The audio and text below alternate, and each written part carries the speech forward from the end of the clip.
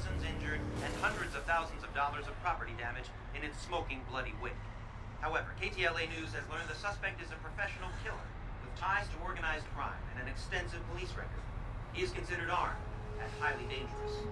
We want to get you back to our regularly scheduled programming, but keep it tuned right here to KTLA for continuing coverage of this bizarre story as it unfolds.